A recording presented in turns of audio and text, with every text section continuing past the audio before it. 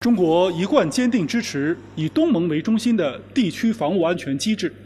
积极参加东盟防长扩大会机制各项合作。六月，国委员兼国防部长魏凤和出席东盟防长扩大会视频会议。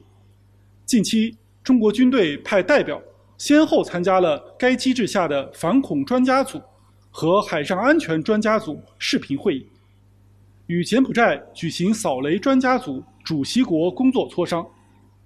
在这些活动中，中方代表积极建言献策，分享交流经验，倡导共同、综合、合作、可持续的全球安全观，受到各方广泛认同，达到了增进互信、促进合作的目的。今年是中国东盟建立对话关系三十周年。中国军队将继续积极参与东盟有关防务安全合作机制各层级各领域合作，为中国东盟战略伙伴关系发展、为地区和平稳定与繁荣作出更大贡献。